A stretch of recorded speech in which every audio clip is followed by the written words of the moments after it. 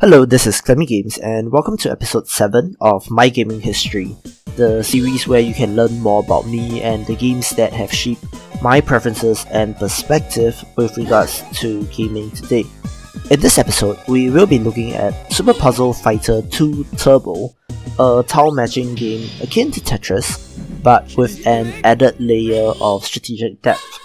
I wanted to share something a little different in this episode, as my main memory of playing this was actually in arcades, which the game was released on in 1996. In Puzzle Fighter, the main gameplay revolves around rotating and placing two gem blocks on the playing field.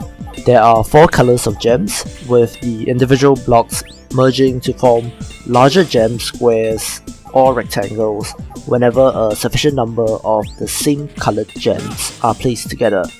Crash gems allow you to blow up the gems on your screen, which resulted in counter gems being dropped on the enemy's playing field.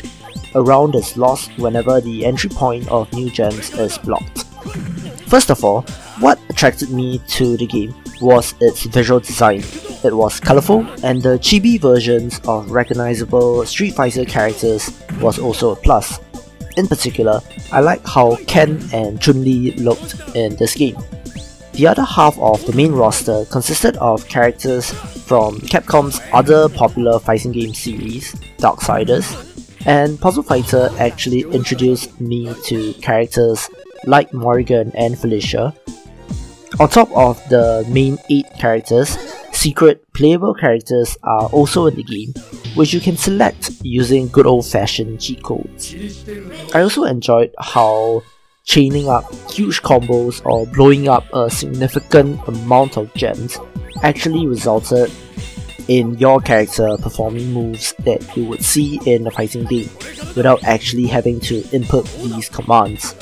To further elaborate on the strategic layer, each individual character has their own unique attack pattern, and learning these contributed to your strategy in placing and accumulating gems of a certain color in order to maximize the effectiveness of your attack.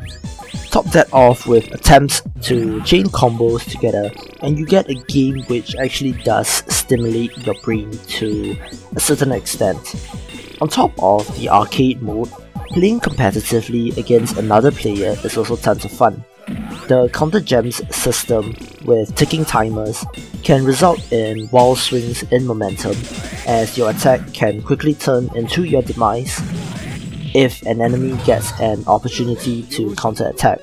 It is the back and forth nature that resulted in me spending quite a sum of my pocket money on this game back in the day.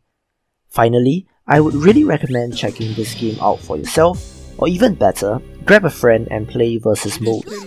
The game does hold up, and I am sure that anyone with even a little bit of a competitive spirit in them will enjoy Super Puzzle Fighter 2 Turbo.